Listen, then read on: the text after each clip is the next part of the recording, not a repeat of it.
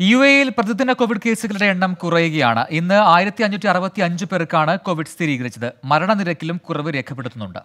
ഇരുപത്തിനാല് മണിക്കൂറിന് നടത്തിയ രണ്ട് ലക്ഷത്തി തൊണ്ണൂറ്റി ഒൻപതിനായിരത്തി ഇരുന്നൂറ്റി എഴുപത്തഞ്ച് പരിശോധനകളിൽ നിന്നായാണ് ആയിരത്തി അഞ്ഞൂറ്റി അറുപത്തിയഞ്ച് പേർക്ക് പുതുതായി രോഗം സ്ഥിരീകരിച്ചത്.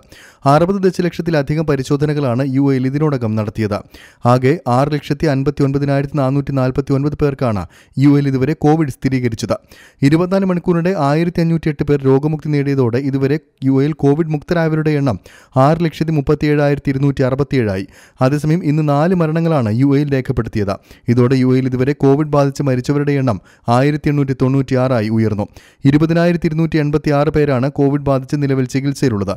അതിനിടെ യു എൽ ഇതിനോടകം പതിനാറ് ദശാംശം മൂന്ന് ദശലക്ഷം കോവിഡ് വാക്സിൻ ഡോസുകൾ വിതരണം ചെയ്തതായി ആരോഗ്യവകുപ്പ് അറിയിച്ചു. Twenty Dubai.